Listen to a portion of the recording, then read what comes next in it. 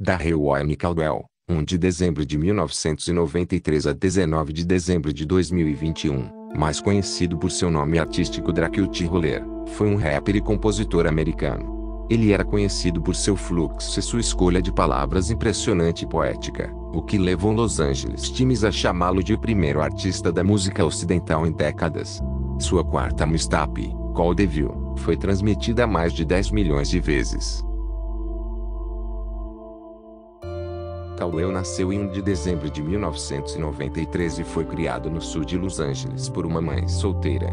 Ele frequentou Washington League perto de Westmont. Ele lançou seu segundo projeto, Ian M.R. Moseley 2 em 21 de julho de 2016, com participações de Mosey, Scheme e Pilt Rich. Ele seguiu com o lançamento de Suco ao primeiro em dezembro. Após sua libertação da prisão em novembro de 2017, ele gravou uma mixtape de 16 faixas, Call View, em 10 dias, que lançou no mês seguinte. Paula Thompson, da Pitchfork, descreveu como o álbum mais importante da carreira do MC de Los Angeles, acrescentando que sua relação romântica e emocional com o ritmo é arrepiante e inesquecível. Assim, Grant Rindier, do Complex, chamou-o de um dos projetos de rap mais impressionantes da Califórnia em anos. Ele lançou videoclipes para Flu Flaming, Big Banco X e Otis Lunes durante um mês.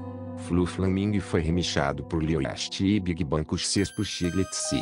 Bounce foi lançado em setembro, com Draqueu na prisão aguardando julgamento. Ele lançou o projeto Obrigado por usar o projeto GTL em junho de 2020 enquanto estava na prisão. Sua nona mixtape, Titro Turts, foi lançada em 24 de fevereiro de 2021. A Mistap contém aparições notáveis de Dom Oliveira e Drac na faixa. Fale comigo. Em janeiro de 2017, Caldwell foi preso pelo Lápide quando eles invadiram o condomínio onde ele estava filmando seus videoclipes. Mais tarde, ele foi detido na prisão central masculina depois de ser acusado de possuir uma arma de fogo ilegal por um criminoso. Ele foi solto em novembro.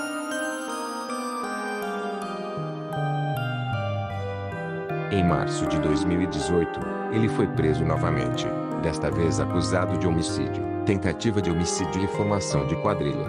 Acusações decorrentes de um tiroteio em dezembro de 2016 em Carson, Califórnia, no qual uma pessoa foi morta e outras duas ficaram feridas. Ele estava enfrentando prisão perpétua.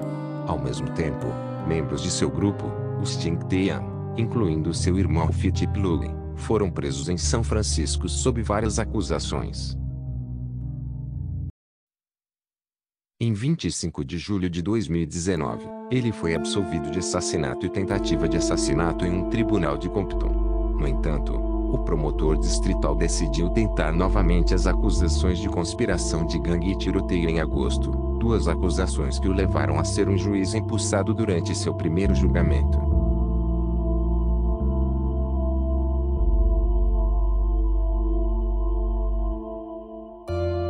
Caldwell foi esfaqueado nos bastidores do festival por volta das 20h30.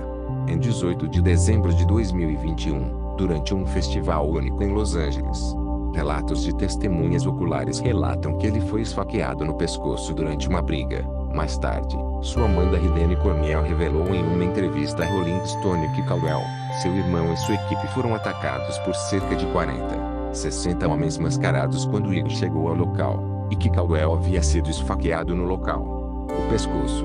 Os serviços de emergência chegaram ao local por volta das 20h40. Eles então transportaram Caldwell para um hospital próximo em estado crítico. Snoop Dogg, que foi um dos headliners do festival, ao lado de 50 Cent e Guy Scooby, cancelou sua apresentação imediatamente após ser informado da situação.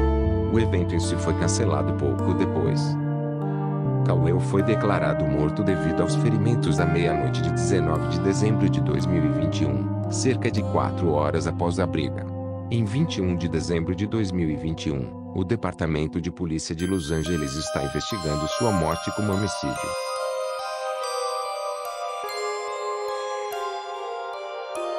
Após a notícia de sua morte, Corniel disse que estaria processando a Live Nation pelo assassinato de Cowell, alegada negligência do local e más medidas de segurança dos funcionários.